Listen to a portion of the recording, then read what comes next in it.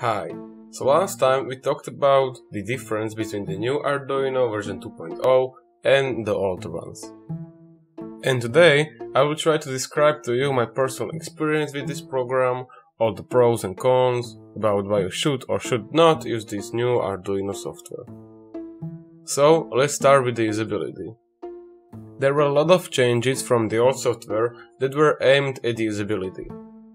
I've worked on some of my personal projects with this software and the usability is great in my opinion. I don't have really anything to say about it, but I don't really see that much of a difference between the old one and the new one. But they added this function, you know, I consider myself a professional at coding with this language, but still I sometimes forget certain functions and they added this great thing that will assure me that this will never happen again so if I want to use some function, for example digital write, I can just click few letters and then control space and my options will pop out.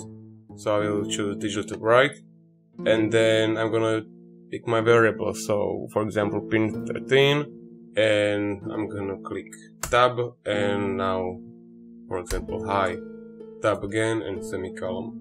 Is This really easy way of writing your functions or it may work on something else than functions but I use it mostly on functions so yeah. Of course there are some downsides to everything. Firstly the obvious is that you have to click control space every time you use it so it might get quite uncomfortable and even though this is a small thing, they really wasted a lot of potential where they didn't add auto semicolon function because it's something that I forget a lot of time, I'm sure you do too. And I think it will be that hard to implement. So yeah, but it's fine really.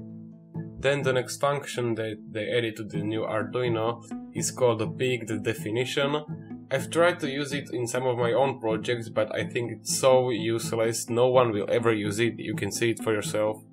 So, when you have a function that you don't really understand, you can right click, you can right click on the function and go to peek, peek definition, and this really confusing thing is gonna happen, it's gonna find the supposed definition in the original Arduino.h library, which I think it's, uh, I mean, it's cool, right? You can see all the definitions right here, high, low, and whatever. But how does this really explain what the function is? I don't really understand. It just says, oh, look, this is the function. Um, I barely understand it. I don't know what beginner is gonna understand this. So, um, see here's with definitions. I don't think that this is a definition, but whatever Arduino, it's it's nice I guess. Um, no one is ever gonna use it, but nice idea. The final thing that I observed about this program is that I have no idea why it exists in the first place. Um, it's clearly trying to look like this program called Visual Studio Code, but when you have Visual Studio Code, why should you have Arduino IDE version 2.0 when it's the same thing?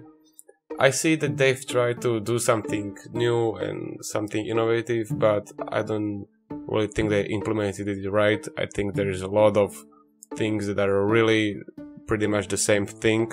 As I said, I've been using this software for a couple of days for my personal use and I like it a lot more than the old ones, of course. The old ones were horrible. And some of the functions are really great, I love them, but some of them are again completely useless, like this thing, it's basically Control F, but they have these extra spaces for it, I don't know. But again, I love this software as much as I love Visual Studio Code. But anyway, I'm gonna use it because it's better than the old ones and Visual Studio Code is kinda complicated and that's pretty much all for me. I don't really have anything more to say about this part of the software, but maybe in the future videos I can get into more details. But for now, goodbye.